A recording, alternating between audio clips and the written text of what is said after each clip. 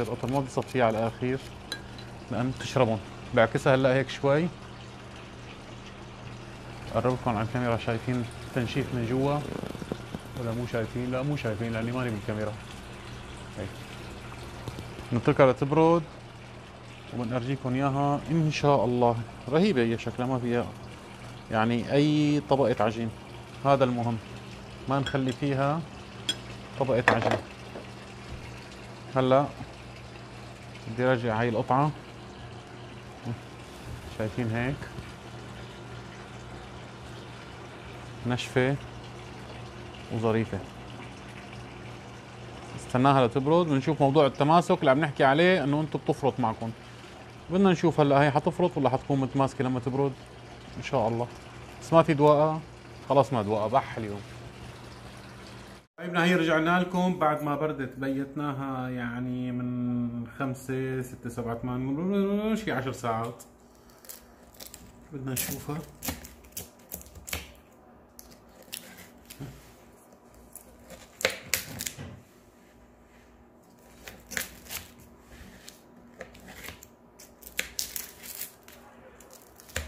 شلون وضعها بعد ما بردت؟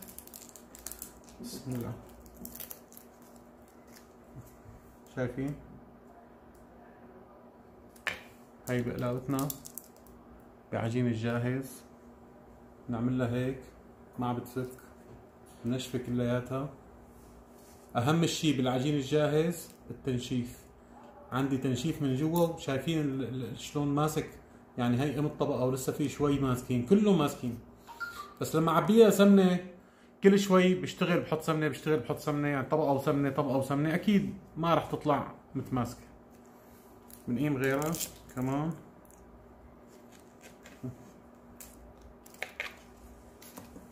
كلهم نفس الشيء. كله متماسك. وبمسكها من فوق. ها. ما بتوقع. من تحت. شايفين؟ نسخ واحد. هاي بسم الله الرحمن الرحيم. بالنسبة لأدوائها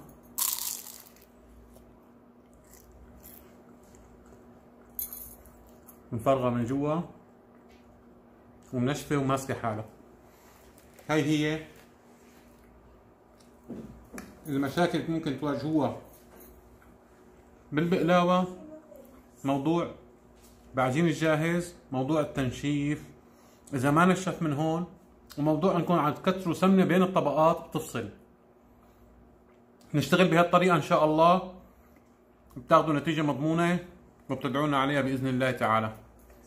كان الفيديو تبعنا طويل شوي اليوم بس والله حبينا نوصل كل المعلومات وكل آه، صغيرة وكبيرة بموضوع العجين الجاهز.